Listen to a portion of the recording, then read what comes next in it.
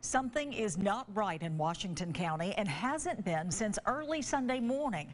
That's when 45-year-old Terri Gale Sullivan was reported missing, and there's still no trace of her.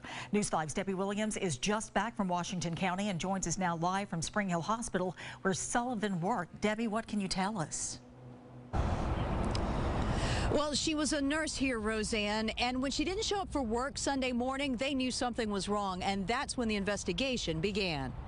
The last trace of Terri Gale Sullivan, her cell phone, found on this dirt road shortly after she left for work early Sunday morning. She has had some safety issues in the past with some individuals. I, I really can't speak on that right now, mm -hmm. and, and we're very concerned. Half a mile down Clark Place Road in Tibbie, evidence of a scuffle, according to investigators. Sullivan and the rental car she was driving, a white 2018 Chevy Impala with New York tag number HPR 4084, have not been seen since.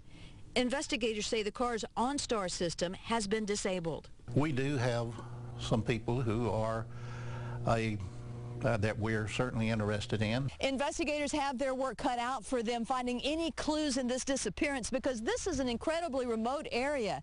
They're also appealing to deer hunters who may still be out in the woods this season. If you see anything unusual, please give them a call during the daytime again. Also helping in the search for answers, five investigators with the State Bureau of Investigation. SBI has many more resources than what we do. Mm -hmm. And we just feel like anytime you got seven set of eyes, I believe, looking today is, is better than two sets.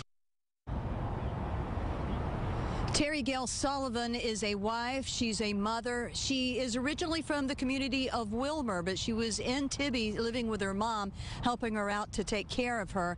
The Washington County Sheriff's Office asked if anyone has any information that can help them solve this case and bring Miss Sullivan home to please give them a call.